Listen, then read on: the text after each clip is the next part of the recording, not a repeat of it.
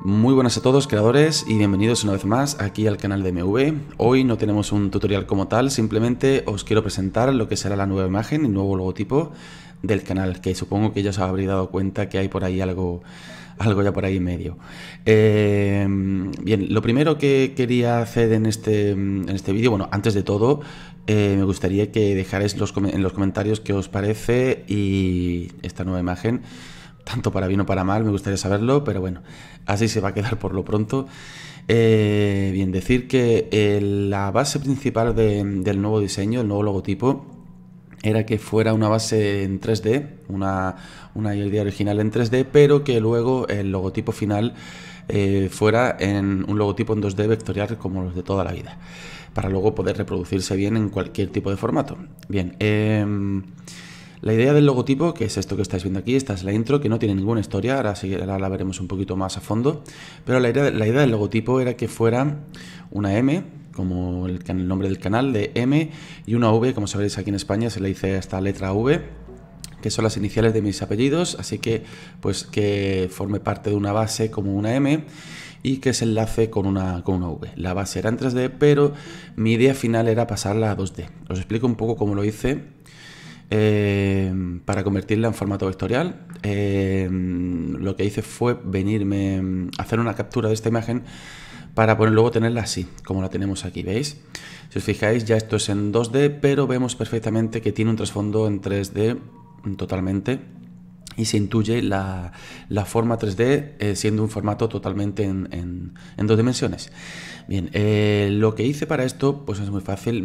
Una vez eh, tomé la toma, digamos que es esta la toma buena para la hora de exportarlo, pues si quitamos el fondo y quitamos también esto le ponemos cero para que no tenga luz, le damos así y vemos que no se ve nada. Entonces lo que hice para poder exportar esto eh, aquí le di a una emisión. Ahí lo tenéis. Y exportar, esta imagen. La, pasé a, una imagen. Pero claro, la hice para luego en, Illustrator tener eh, unas proporciones correctas. Porque si os fijáis aquí, tenemos las proporciones de la cámara que están deformadas. Vemos esta letra que está. Eh, esta parte por aquí está más pegada a la izquierda que por aquí. Igual que por aquí, las líneas no están correctamente porque, claro está, tenemos una imagen en 3D y son las proporciones de, la imagen, tanto como de la, mm, de la, propia cámara, el efecto de los 50 milímetros que le pueda dar la cámara. Vale, una vez lo, exporté y lo, y lo vectoricé, eh, lo que hice fue es, que tuviera las proporciones correctas. Si fijamos aquí y aquí si está recto, lo podemos comprobar. Aquí vemos, veis que está completamente eh, recta las líneas, tanto esta como las de aquí también. Eh, por aquí también es para que estuviera todo correcto y, lo pudieran, vamos, no, no, estuvieran deformadas la, no estuvieran deformada ninguna, ninguna línea.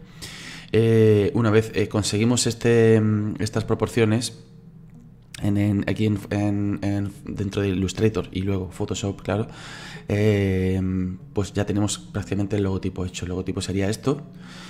Y eh, podremos, tengo aquí una imagen de, de, pruebas, cómo quedaría el logotipo con un trabajo que he hecho en 3D de, texturas, que es este.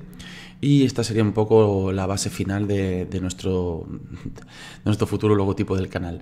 Eh, cada vez que realice ya a partir de ahora trabajitos y tal, pues la idea sería eh, compartirlo de esta forma. Tendrán, tendrán más o menos estas proporciones dependiendo del trasfondo del, del diseño y irá en un lado la página web, en otro lado tendremos el, logotipo y el fondo. El logotipo será un color siempre eh, y dependiendo del fondo podría variar a, su negativo.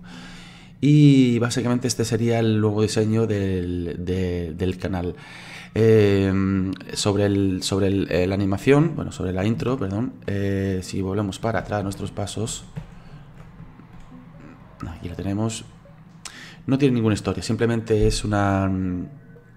Es, una animación donde movemos la cámara y hacemos un pequeño desenfoque aquí con el Divo File y bueno, y nada, no tiene ninguna historia, simplemente es eso, es mm, un, suelo que tiene, que tiene un material con mucho brillo, un, blanco no llega a ser mate, pero casi en, el, en la letra, y, este, este rosa que hemos, que hemos tomado.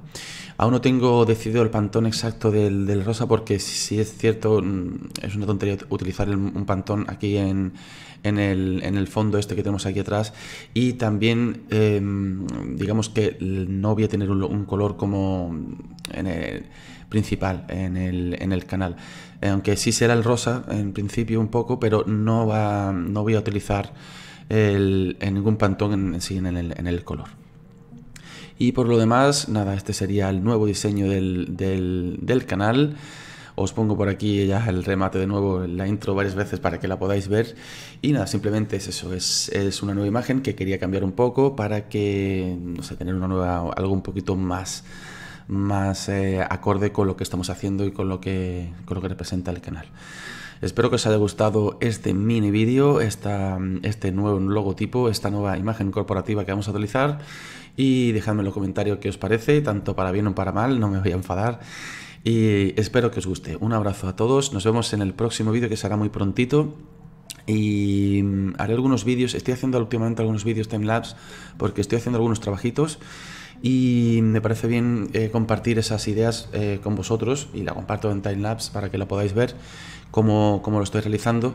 Y por eso que estoy pelín, un pelín más despegadito del canal, aunque no como otras veces tan despegado por otros problemas, pero nada, eh, prometo seguir haciendo vídeos y sobre todo con la nueva versión de, de, Blender, con las cositas nuevas que nos traen.